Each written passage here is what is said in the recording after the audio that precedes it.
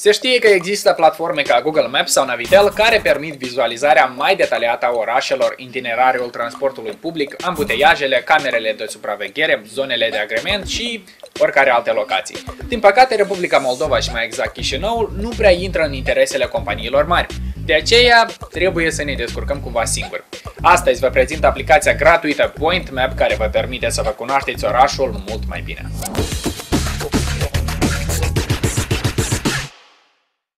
Point Map reprezintă o mapă interactivă cu o mulțime de informații ajutătoare, atât pentru un turist cât și pentru un localnic. Pentru comoditate, aplicația poate fi utilizată în trei limbi, română, engleză și rusă. Aceasta oferă posibilitatea de a căuta adrese exacte, străzi, restaurante, școli și altele. Aplicația are un design foarte simplu și este ușor să te orientezi prin ea, pentru că nu există prea multe meniuri. Opțiune foarte interesantă acesteia este transportul public. Aplicația oferă date exacte despre traseul tuturor troleibuzelor, autobuzelor și maxi-taxiurilor. Iar dacă nu știi ce transport trebuie să folosești pentru a ajunge într-o anumită locație, poți face următoarele. Mai întâi stabilim locația exactă. Apropo, totul se face cu o precizie destul de bună.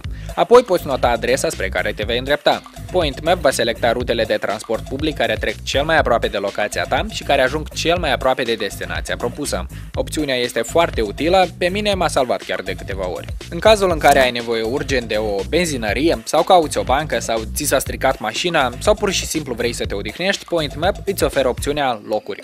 Aici sunt incluse pe lângă toate cele menționate o mulțime de lucruri, ca săli de sport, restaurante, saloane de frumusețe și multe altele. Toate sunt afișate în dependență de locația lor, deci cele mai apropiate vor apărea primele. Odată ce ați găsit locația dorită, aplicația oferă detalii despre aceasta, ca spre exemplu numărul de telefon, site-ul și rutele de transport de prin apropiere.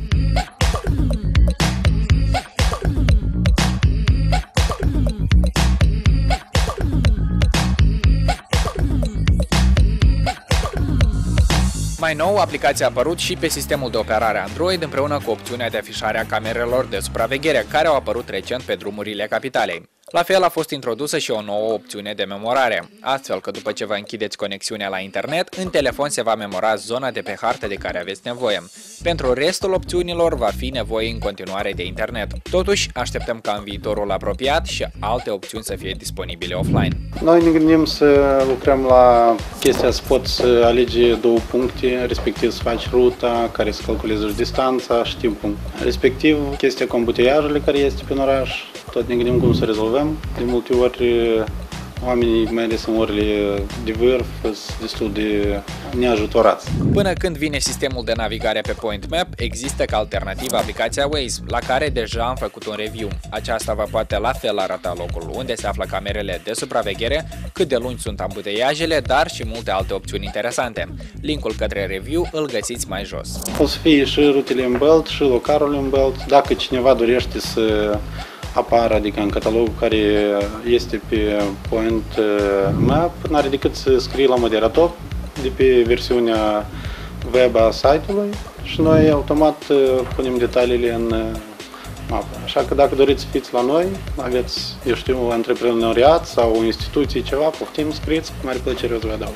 În concluzie, Point Map este o aplicație utilă pentru a-ți cunoaște orașul mai bine, pentru a te deplasa mai ușor cu transportul public sau pentru a găsi locațiile de care ai nevoie. Din păcate, încă nu are regim de navigare. Chiar și așa, Point Map urmează să aducă în curând update-uri importante. Aplicația poate fi descarcată gratuit din App Store, dar și din Google Play. Linkurile necesare vor fi atașate în descriere exact acolo mai jos de butonul like, pe care nu uitați să-l apăsați. Tot pe lângă este și butonul abonare pentru a vedea în continuare și alte review-uri interesante. Dacă aveți sugestii, secțiunea comentarii este mereu deschisă. Cu voi a fost Vicu, toate bune!